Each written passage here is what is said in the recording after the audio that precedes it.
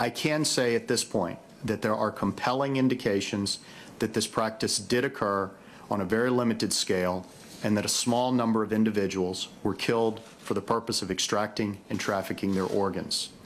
In order to prosecute such offenses, however, it requires a level of evidence that we have not yet secured. Like Dick Marty during the course of his investigation, we have encountered significant challenges in obtaining such evidence.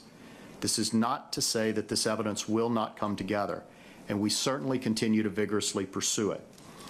Information compiled by SITF indicates that certain elements of the KLA intentionally targeted the minority population with acts of persecution that included unlawful killings, abductions, enforced disappearances, illegal detentions in camps in Kosovo and Albania, sexual violence, other forms of inhumane treatment, forced displacement of individuals from their homes and communities, and desecration and destruction of churches and other religious sites. We believe that the evidence is compelling that these crimes were not the acts of rogue individuals acting on their own accord, but rather that they were conducted in an organized fashion and were sanctioned by certain individuals in the top levels of the KLA leadership. The widespread or systematic nature of these crimes in the period after the war ended in June 1999 justifies a prosecution for crimes against humanity.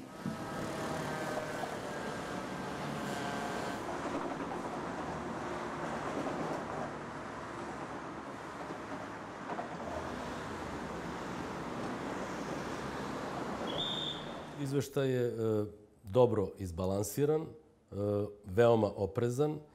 E, on zapravo otkriva koliko je teško preći put do istine o zločinima na Kosovu i Metohiji. Ovim izveštajem i ovim procesom su samo oškrinuta vrata međunarodne pravde za, žrtve koje, e, za srpske žrtve na Kosovu i Metohiji.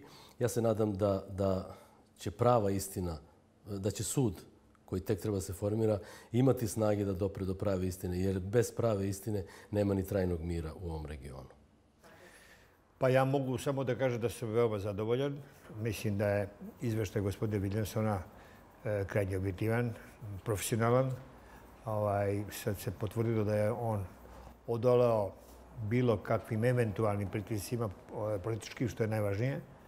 Ovaj, zadovoljan sam upravo zbog toga što je ovo jedan jedan, ovaj, jedna kruna na naš rad. Čeka se osnivanje tog specijalnog suda za Kosovo, koji bi treba početkom godine da se osnuje i da radi u Holandiji.